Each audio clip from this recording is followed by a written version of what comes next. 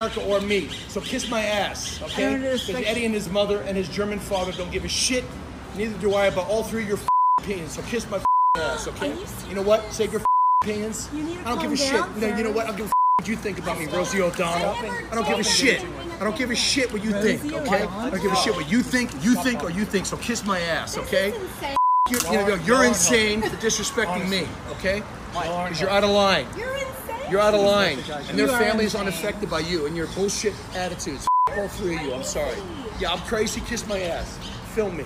Yeah, I got it. Yeah, good. I got you too. Okay. That's how saying this what, for hotel. asking you yeah, to calm yeah, down. You yeah. need you're to so calm nice. down, You're like sir. the Democratic Party. Kiss my ass. You are too small to get the f- in my way. Get out of my way, sir. let's go. Bro, you all three are out of control, and you're disrespectful. Let's go, Mike. Mike, stop. Let's go. These people are disrespectful. Yeah, she's filming it. She's full of shit. Let's go, Mike. Please. Yeah, film it. Film it. Mike. Stop. Wow. Let's go.